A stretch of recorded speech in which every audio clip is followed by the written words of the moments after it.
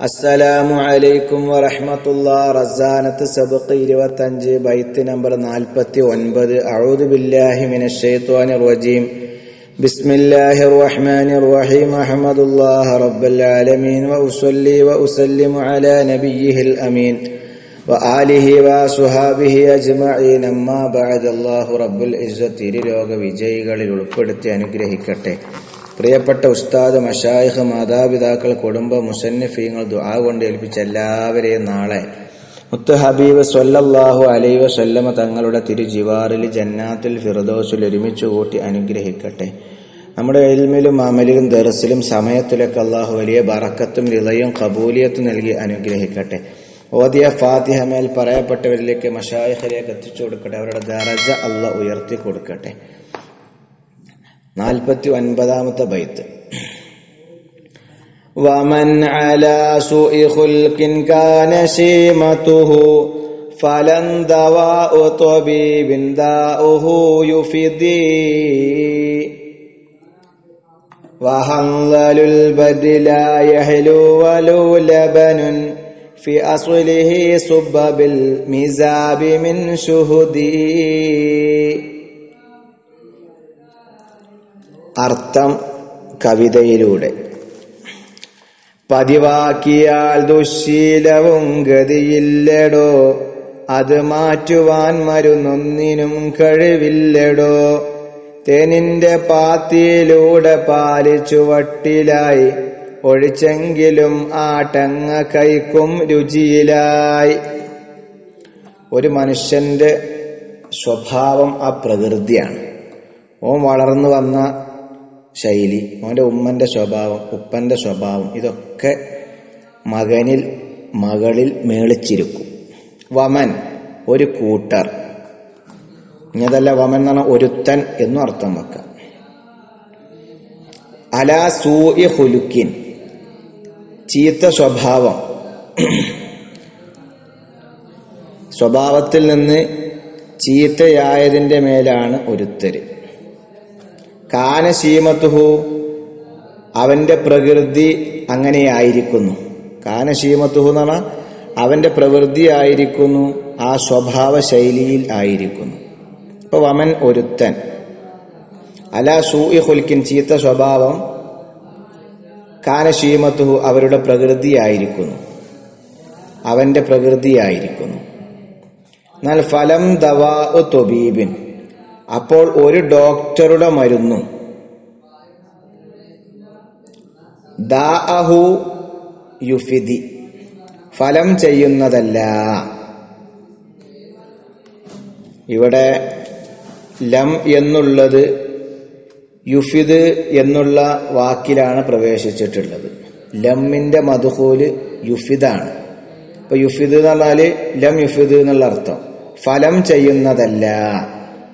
കേട്ടോ. അപ്പൊ തുടക്കത്തിൽ വൈത്ത് മൻ എന്നല്ല തുടങ്ങിയത്? ഒരുത്തൻ എന്നും അർത്ഥമാക്ക ഒരുത്തർ ഒരു കൂട്ടം എന്നും അർത്ഥമാക്ക അൽഫിയ എന്ന് പറഞ്ഞ കിതാബ് നമ്മൾ പിന്നീട് പഠിക്കും. അപ്പൊ നമ്മൾ അതിൽ പഠിക്കുമ്പോൾ പഠിക്കും മൗസൂല എന്ന് പറഞ്ഞൊരു പരിപാടിയുണ്ട്. മഞ്ഞ് മ അല്ലതി അല്ലത്തി ഇങ്ങനെ കുറെ മൗസൂലകൾ പഠിക്കും. തൊണ്ണൂറ്റി നാലാമത്തെ ബൈത്തിൽ അൽഫിയിൽ പഠിക്കും. വമൻ അൽ തുസാവി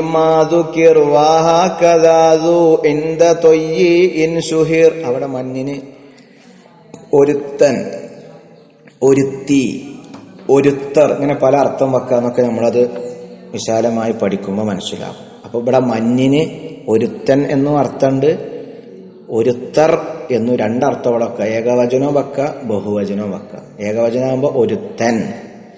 ബഹുവചനമാകുമ്പോൾ ഒരുത്തർ. അപ്പൊ എന്താണെങ്കിലും ലഫതിയായ ചർച്ചയാണ്. നമ്മൾ പറഞ്ഞത് മനസ്സിലായത് ഇപ്പം ഇന്നത്തെ പോയിന്റ് എന്താന്ന് വെച്ചാൽ ഒരാളുടെ ചീത്ത സ്വഭാവം അദ്ദേഹത്തിന്റെ പ്രകൃതിയായി. അദ്ദേഹത്തിന് ചിന്തയും നോക്കും വാക്കൊക്കെ ഈ ചീത്ത സ്വഭാവമാണ്. അതിൽ ലയിച്ചവനാണെങ്കിൽ പിന്നെ എന്ത് ഡോക്ടറുടെ മരുന്നും ഫലം ചെയ്യൂലാന്ന ഏ ഉദാഹരണം പറയട്ടെ. വഹന്തലുൽ ബറി കരയിലുള്ള കരയിലുള്ള ആട്ടങ്ങപ്പഴം. ആട്ടങ്ങ? ആ ആട്ടങ്ങയാവുന്നത്. ലായഹലു അത് മതിരിക്കുന്നതല്ല. വലു ലബനു പാലാവുന്നത്. അഥവാ പാലാണെങ്കിലും ഫി അസിലിഹി അതിന്റെ മുരട്ടിൽ. ആ ആട്ടങ്ങ വള്ളിയുടെ മുരട്ടിൽ പാൽ സുബ്ബ ചൊരിക്കപ്പെട്ടു. ബിൽ മീസാബി പാത്തിയിലൂടെ. ഏ ഇപ്പൊ പാത്തിയിലൂടെ ചൊരിക്കപ്പെട്ടാലും എന്താ പാത്തിയിലൂടെ പാർന്നത് മിൻ ഷുഹുദിൻ തേനിനാൽ. അപ്പൊ തേനിനാലുള്ള ഒരു വസ്തു പാത്തിയിലൂടെ ചാലിക്കൂടെ അങ്ങനെ കുറേ പാർന്നു. കുഴിച്ചിട്ടിരിക്കുന്നത് ആട്ടങ്ങമരമാണ് ആട്ടങ്ങമരം ആട്ടങ്ങമരം എന്ന് പറഞ്ഞാൽ ഭയങ്കര കയ്പുള്ള പഴങ്ങളാണ്. ആട്ടങ്ങ വള്ളിയിലുണ്ടാകുന്ന പഴങ്ങൾ ആട്ടങ്ങപ്പഴം. ആ ആട്ടങ്ങ മുഴുവൻ ഭയങ്കര കയ്പയിക്കാരം ഭയങ്കര കയ്പയിക്കാരം എന്നാൽ ഈ ആട്ടങ്ങ ഉണ്ടാവുന്ന വള്ളിന്റെ ചുവട്ടിൽ എത്ര പാൽ പാർന്നാലും ആട്ടങ്ങ കയ്പൈക്കാരം. ആട്ടങ്ങ കണ്ടാവുന്ന വള്ളിന്റെ ചോട്ടിൽ എത്ര തേന് പാർന്നാലും പഞ്ചാര വെള്ളം പാർന്നാലും എത്ര മധുരം പാർന്നാലും ഉണ്ടാകണ പഴം കയ്പായിരിക്കും. ആര് തിന്നാലും കയ്പൈക്കാരം. ഭയങ്കര കയ്പ്. എന്നതുപോലെ ചീത്ത സ്വഭാവം പ്രകൃതിയായ ഒരു മനുഷ്യനക്ക് എത്ര ഉപദേശം കിട്ടിയിട്ടും കാര്യമല്ല ഓൻ തന്നെ അള്ളഹാനോട് ദ്വാരക്കഞ്ഞ് മാർഗമുള്ളൂ അല്ല എന്താ ചെയ്യുക അല്ലെങ്കിൽ വലിയ സ്വാലിഹ്യങ്ങളെ കൊണ്ട് മന്ത്രിക്കുക. അല്ല കുറെ ഉപദേശിച്ചിട്ടൊന്നും കാര്യമല്ല അതിന് ഉദാഹരണമാണ് പറഞ്ഞത്. അപ്പൊ പ്രകൃതി ദുസ്വഭാവമുള്ള ഒരു ചങ്ങായി ഓന്റെ ചിന്തയും വാക്കും നോക്കൊക്കെ മോശമാണെങ്കിൽ അവനെ എത്ര ഉപദേശിച്ചാലും അവന്റെ ചീത്ത സ്വഭാവം മാറൂല. ഉപദേശം അവന് ഫലം ചെയ്യൂല. അതിന് ഉദാഹരണമാണ് ആട്ടങ്ങ വള്ളിയുടെ ചുവട്ടിൽ തേനും പാലും മധുരമൊക്കെ പാടെ കൂട്ടി ഒഴിച്ചാലും ആ വള്ളിയിൽ ഉണ്ടാകുന്ന പഴത്തിന് കയ്പേ ഉണ്ടാവുള്ളൂ. ആട്ടങ്ങ എപ്പോഴും കഴിച്ചു. അപ്പൊ പ്രകൃതിയിലുള്ള സ്വഭാവം മാറാൻ വളരെ പ്രയാസമാണ് എന്ന് അർത്ഥം. കാരണം ആ സ്വഭാവം വലിയൊരു മാരക രോഗമാണ് ഇനിയിപ്പോ എന്താ ഓൻ ചെയ്യുക ഓന് ദുആ ചെയ്യുക അള്ളാഹുവിനോട് നബി സല്ലല്ലാഹു അലൈഹി വസല്ലം തങ്ങൾ പഠിപ്പിച്ചു കൊടുത്തിട്ടുണ്ട്. അബ്ദുല്ലാബിൻ അമ്ര റളിയല്ലാഹു പറയുന്ന ഒരു ഹദീസിൽ കാണാം. കാന റസൂലുള്ളാഹി സ്വല്ലല്ലാഹു അലൈഹി വസല്ലം യഖൂലു അല്ലാഹുമ്മ ഇന്നി അസ്അലുക സിഹത്ത വൽ വൽ വ വരില്ലാ ബിൽ ഖദ്രി ഈ ദുആ അങ്ങനെ വർദ്ധിപ്പിക്കുക എന്താണ് പടച്ചോനെ എനിക്ക് ആരോഗ്യവും അതുപോലെ തന്നെ ചാരിത്ര ശുദ്ധിയും വിശ്വസ്തതയും സൽ സ്വഭാവവും നിന്റെ വിധിയിൽ തൃപ്തിപ്പെടാനുള്ള കഴിവൊക്കെ ഞാൻ ചോദിക്കുന്നതൊക്കെ കൊണ്ട റബ്ബേ എന്ന് ദ്വേർക്കുക നബി തങ്ങളുടെ ഈ പ്രാർത്ഥന ജീവിതത്തിൽ പകർത്തുക എന്നാൽ നന്നാവും എന്താ ദുആ اللهم إني أسألك الصحة والعفة والأمانة وحسن الخلق والرضا بالقدر അത് ധാരാളം ദുആ ചെയ്യുക അതാണ് നബി സല്ലല്ലാഹു അലൈഹി വസല്ലം തങ്ങൾ ഈ ദുആ പഠിപ്പിച്ചാലുള്ള കാരണം എന്താ? കഠിന ഹൃദയത്തെ ദുസ്വഭാവിയായ മനുഷ്യനൊക്കെ മാറ്റിയെടുക്കാൻ പറ്റും. അപ്പൊ പ്രകൃതി ദുസ്വഭാവിയായി ഓൻ എങ്ങനെ ചികിത്സിച്ചാലും ഉപദേശം കിട്ടിയാലും ഫലല്ല എന്ന് പറഞ്ഞില്ലേ? പിന്നെന്താ ഞാൻ ചെയ്യുക? ഓൻ ദ്വയർക്കന്നെ അള്ളാഹുവിനോട് ദ്വയർക്കന്നെ അപ്പൊ അള്ളാഹു താല അവന്റെ പ്രകൃതി ഇണങ്ങിച്ചേരലും സംസാരങ്ങളും ഇടപഴകലൊക്കെ ഹൈറിലാക്കി കൊടുക്കും. ഇവിടെ ലഫ്ത് ചർച്ച ചെയ്യുമ്പോൾ മൻ എന്നുള്ളത് ഏകവചനമായിട്ടും ബഹുവചനമായിട്ടും ഉപയോഗിക്കുക കേട്ടോ ഷീമത്ത് എന്ന് പറഞ്ഞാൽ തബീഅത്ത് എന്നുള്ള അർത്ഥം. അവന്റെ സ്വഭാവം പ്രകൃതി. പിന്നെ ഇവിടെ ലം എന്നുള്ളത് പ്രവേശിക്കുന്നത് യുഫിദ് എന്ന വാക്കിലാണ് ലം കടക്കുന്നത്. ഇപ്പൊ ലം യുഫിദ് എന്നുള്ള അർത്ഥം ഫലം ചെയ്യൂല എന്നുള്ള അർത്ഥമാണ് വെക്കേണ്ടത്. ഏ? പിന്നെ ഹൻലല എന്ന് പറഞ്ഞാൽ കരയിലുണ്ടാകുന്ന ഒരു ആട്ടങ്ങപ്പഴം എന്ന് പറയും. കരയിലുണ്ടാകുന്ന ഒരു ആട്ടങ്ങപ്പഴം. ഒരു വള്ളിയിലാണ് ഉണ്ടാകുക. തക്കാളിയെ പോലെ വലിപ്പം ഉണ്ടാവുള്ളൂ. ഭയങ്കര കയ്പയിക്കാരം. പണ്ട് സ്കൂളൊക്കെ പോകുമ്പോൾ റോഡ് സൈഡിലൊക്കെ കണ്ടമാനം ഉണ്ടാകാറുണ്ട്. കുട്ടികൾ മുല ഒടിച്ചൽ നിർത്താൻ വേണ്ടിയിട്ട് പെണ്ണുങ്ങൾ തേക്കണതാണ്. രണ്ട് വയസ്സായാലും കുട്ടികൾ മുല കൂടി നിർത്തൂല.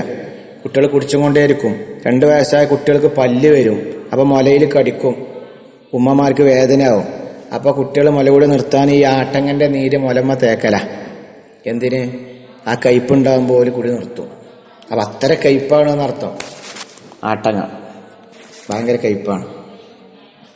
അപ്പൊ അതാണ് ഫി അസിലിഹി എന്ന് പറഞ്ഞാൽ ആ വള്ളിയുടെ മുരട്ടിൽ.